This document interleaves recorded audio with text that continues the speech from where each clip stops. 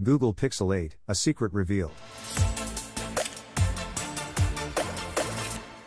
Hello guys, I hope you are all doing great. We are back. Interesting news guys. As per a report from Galaxy Club, Google and Samsung are already working on a third generation Tensor SoC, which should power next year's Pixel 8 lineup. On the one hand, it's no surprise that Google and Samsung will continue to work on their joint venture but on the other, it's not the first time Google has killed a project or two. After all, the first generation Tensor chipset isn't exactly on par with the competition from Qualcomm and Apple though things may change in the future. The Tensor's advantage, however, is that Google has the freedom to tailor the SoC to its needs and its camera AI capabilities, for example, are quite impressive and allow the Pixel 6 to offer some advanced features. The same report also says that Samsung is working on the Exynos 1280 successor, a mid-range chip used in some of the company's budget offerings but unfortunately, the leak doesn't go into details so aside from the Tensor 3's S5P9865 model number and the fact that it's being tested on a developer board codenamed RIP Current, there's nothing else we can work with. Then discussing the chipsets released by Qualcomm. Until now, Qualcomm has launched three chipsets based on the 4 nanometers manufacturing process under the new naming scheme which are Snapdragon 8 Gen 1, Snapdragon 8 Plus Gen 1, and Snapdragon 7 Gen 1. Well, thanks to the reliable leakster Evan Blass, we now know the company will also launch a Snapdragon 6 series chip with the same naming convention, called Snapdragon 6 Gen 1 and he has leaked the complete specs sheet of the SoC, which tells us it is a 4 nanometers chip having part number SM6450 which also supports 5G networks and Qualcomm's Quick Charge 4 Plus technology. The 6 Gen 1 SoC also consists of a Kryo CPU clocked at up to 2.2 GHz, but we don't know the number of cores yet. In terms of display, the chip can support displays with up to full HD plus resolution and 120Hz screen refresh rate and let you take pictures with a 108MP camera. The smartphones powered by the Snapdragon 6 Gen 1 will also be able to record 4K HDR videos at 30 FPS and slow-mo videos at 240 FPS while the image shared by Blass says 240 FPS slow-mo video recording can be done in 270p, which I think could be a typo, and the actual resolution could be 720p. Still, no word has been received from Qualcomm about the Snapdragon 6 Gen 1, but we might see it go official alongside the Snapdragon 8 Gen 2 flagship chip at this year's Snapdragon Summit, which will be hosted in Hawaii between November 15th to 17th even though we could also see Qualcomm announce it before the 8 Gen 2. And with that said, I'll be ending the discussion for today. Let me know your thoughts in the comment section below as well. If you guys are new here, be sure to subscribe. The tech chat is over and I am out.